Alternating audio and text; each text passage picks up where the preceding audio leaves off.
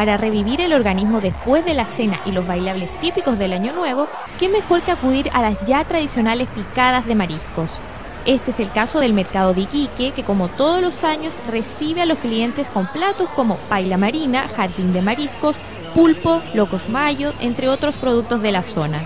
Los precios van desde los 2.000 hasta los 6.000 pesos. Abrimos a las 7 de la mañana y estamos vendiendo paila marina, pescado frito, caldillo de congrio, mariscales, cherizo ah, con salsa verde.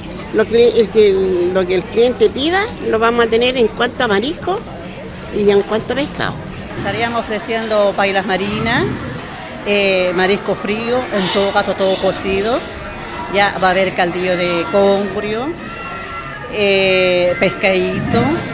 Bueno, tenemos la paila marina, locomayo, ceviche, eh, un mariscal bien preparado con mariscos frescos de la zona.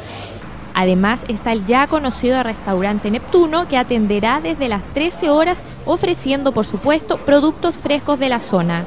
Vamos a abrir porque hemos visto que la gente está requiriendo en estos días pasados que nosotros abriéramos durante la fiesta, entonces así lo vamos a hacer y vamos a ofrecer nuestros platos característicos eh, que serían reanimadores como una marinera, caldillos.